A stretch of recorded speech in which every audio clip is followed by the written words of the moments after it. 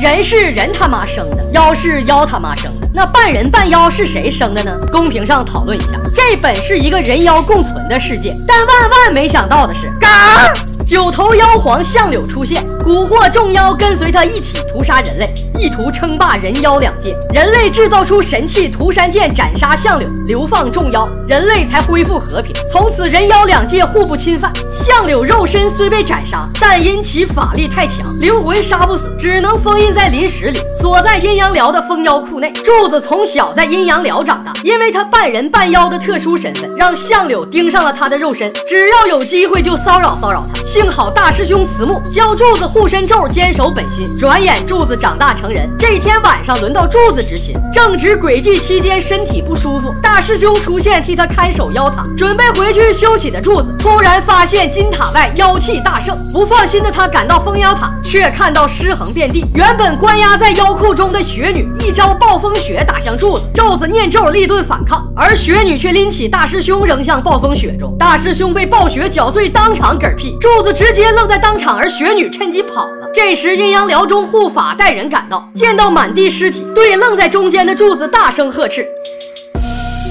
就是那罪恶的妖！”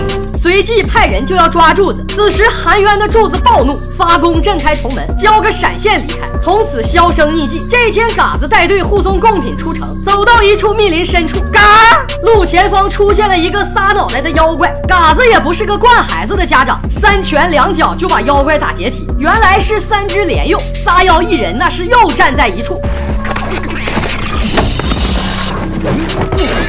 这功劲儿从天而降，一个黑发男子。吓退了莲佑，随后臭不要脸的自己拿贡品。原来这一切都是柱子设计的局。随后一声口哨，周围隐藏的妖怪有序的开始了抢劫大计。原来离开阴阳寮的他和一群无家可归的小妖做起了他人财物的搬运工。嘎子想阻止，却在柱子一枚符咒的施展下不停的摔跟头。眼看着贡品被嘎子搬走，另一边妖界最强双生压天狗在雪女的指派下，利用调虎离山之计抢走了灵。石压天狗拿着灵石在逃跑途中被长案翠花所伤，跌落在林子里。灵石却被在郊外偷偷藏宝物的三个莲幼偷走。虽然阴阳师及时赶到，灵石却被莲幼吞进了肚子里。误吞灵石，小莲幼苦不堪言，赶忙的找柱子求救。在查看过程中，却不慎连麦相柳。灵石离开阴阳寮必有大祸。柱子见状，赶紧封印莲幼，前往妖域。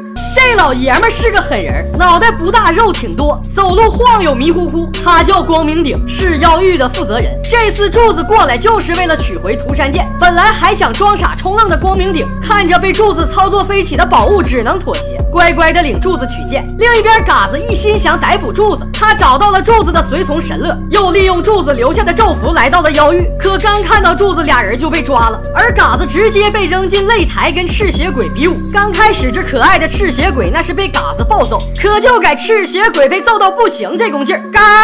他竟然变大了！原来他是越被打就会越变越大。变大后的赤血鬼直接拉起嘎子，一把就给甩飞了。然后一个泰山压顶，差点就把嘎子给做报废了。几个回合下来，嘎子像个小弱鸡儿一样被蹂躏着。好在关键时刻柱子出手相助，并在神乐的提示下战胜了赤血鬼，最后还放了赤血鬼一马。随后跑上二楼救下神乐，准备撒丫子撩。柱子拿到涂山剑离开时，遇到了阴阳寮的人，一番打斗，众人的招数都被柱子设置的护照。轻松挡下。这时，一个黑袍人拿着法杖点在柱子设置的护照上，只见护照被轻松打破。原来是阴阳寮长案翠花出现了。见到青梅竹马的心上人，柱子开口说了句：“别来无恙啊，我不是来叙旧。”随后，柱子撒腿就跑，翠花拼命追。涂山剑在俩人的争斗过程中掉落，被嘎子捡到。这时，阴阳寮的护法出现偷袭柱子，却被翠花挡下。柱子看到翠花受伤发狂，打退所有人，带着受伤的翠花开启咒印，瞬移离开。嘎子、神乐、赤发鬼见状也跳进了咒印内，几人一起出现在世外桃源内。柱子小心翼翼地为翠花疗伤，突然发现了手环，回想着在阴阳寮时自己被众人排挤，是翠花对自己不离不弃。最终以手环为媒介，柱子成了翠花的式神，从此自己有了依靠和想要保护的人。翠花醒来后拿剑对着柱子质问，柱子对翠花说起了七年前的真相，他没有伤害任何师兄弟，大师兄也是被雪女挟持才不小心嗝屁的。但是经历了这一系列事件的翠花却不敢再去相信柱子。另一边，嘎子私下封印莲佑屋子的咒符，被临时影响的莲佑已经妖化，柱子不得已只能让嘎子用涂山剑斩杀了莲佑，莲佑的尸体化为灰烬，露出了临时。翠花看到临时，对柱子更是失望至极，悲伤的气氛也笼罩着世外桃源。桃花妖埋怨阴阳寮没有看好临时，导致莲幼死亡。翠花看着悲伤的柱子，转身离开，告诉他再见面谁也别对谁留情，干就完了。翠花刚离开，意想不到的事儿又发生了。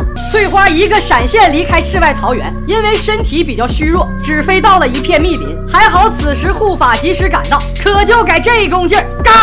一个雪球从树林中飞来，男人下意识的用手去接，结果刚握住雪球就发生爆炸。反应快的赶紧用咒印挡下，反应慢的全部变成了大冰猴子。此时雪女出现，狙击了众人，阴阳寮众人和护法瞬间被干掉。受伤的翠花自然不敌雪女，还好关键时刻柱子赶到挡下了雪女的大招。雪女见到柱子转身就撩，柱子看了一眼翠花，也紧忙着去追，俩人咔咔一顿干，雪女终死在自己的剑下，死前说出了自己主人的名字。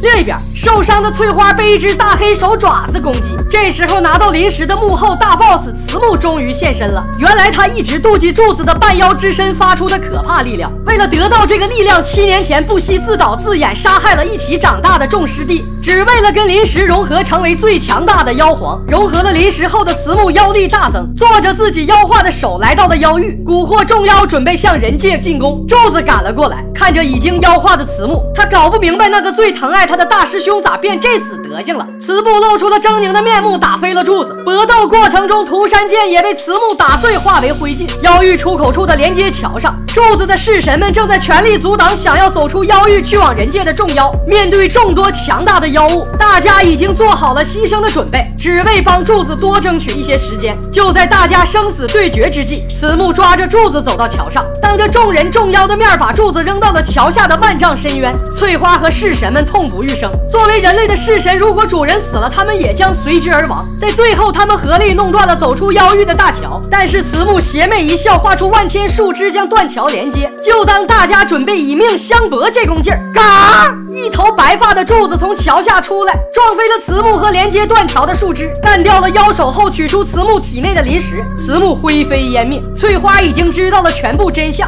发现自己误会了柱子的她感到很愧疚，要柱子跟她一起回到阴阳寮。重新开始，带上灵石，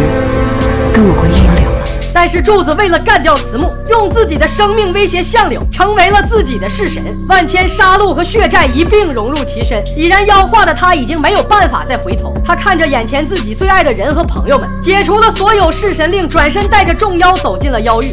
人有好人坏人，妖也有善妖恶妖。像最近一首很火的歌，我害怕鬼，但鬼未伤我分毫；我不害怕人，但是人却伤我遍体鳞伤。不要被事物的表面所欺骗，坚守本心。我们不去害人，但是也要一定保护好自己，不被别人伤害。